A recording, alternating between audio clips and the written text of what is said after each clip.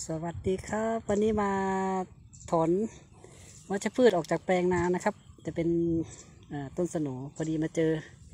สัตว์ชนิดหนึ่งกำลังวางไข่อยู่ มันคือตะกะแตนตำข้าวครับ ฟองไข่นะครับ ดูนะครับ ผมก็เพิ่งเคยเจอนะครับเนี่ย หน้าตาก็ฟินมากเอ้ยหวัดดีชาวโลก มาทำอะไรกันน่ะครับ อยู่บนต้นสนูนะครับ เป็นวัชพืชในนาข้าวต้องเอาออกนะครับ เพราะว่าเวลาเกี่ยวข้าวแล้วเมล็ดสนูมันจะปะปนไปเวลาสีข้าวแล้วจะเป็นเมล็ดสีดำๆนี่ครับเขากำลังวางไข่อยู่ใครเคยเห็นบ้างผมก็ไม่เคยเห็นนะครับ เคยเห็นแต่ที่มันเป็นฟองอยู่แล้ว เป็นแคปซูล แคปซูลหนึ่งก็น่าจะหลายร้อยหลายพันไข่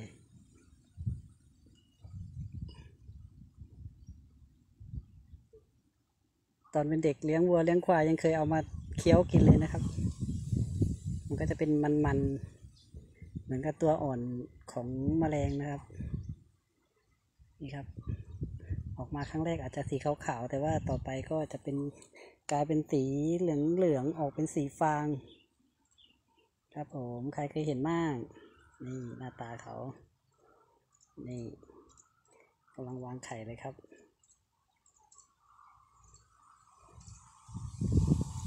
ไข่จะเป็นแคปซูลเล็กๆ อยู่ข้างใน ข้างในที่ปกป้องที่เป็นฟองน้ำโฟมๆนะครับ ฟองน้ำนี้ก็จะปกป้องไข่ของเขาไว้ แล้วพอถึงเวลาเขาฟักตัวเขาก็จะเจาะฟองน้ำออกมา ไม่ใช่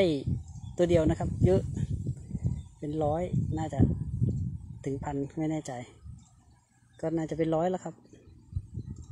วางไข่ครั้งหนึ่ง